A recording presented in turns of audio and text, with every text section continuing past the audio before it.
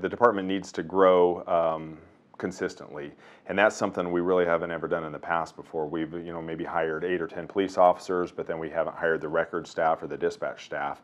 So we've put a plan together. Um, We're behind the curve, you know, uh, where we need to be right now. Um, Our goal is to be a um, a proactive department rather than reactive, and right now we're reactive. So what we're going to be presenting to the uh, council is um, it's a, a three to five year plan. Uh, we know we can't uh, get everything in one year. It's, it's, it takes us a while to get there. It took us a long time to get to the position we're at, so it's going to take us a while to get out of this position. So basically, it's a, um, it, you know, we've given them a, we will be giving them a five year study of, of where we want to get to, how we'll achieve the 1.5 officers per thousand people.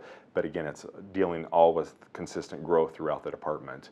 We need to realize that uh, if we get more police officers, that means that uh, other areas in the city need to grow with us. You know, facilities, um, our IT, our fleet. I mean, you know, there, there's it's it's it's not as easy to just say give us eight or 10 police officers. I mean, there's other other things that go along with that. So you know, that's that's kind of what our deep dive recognizes.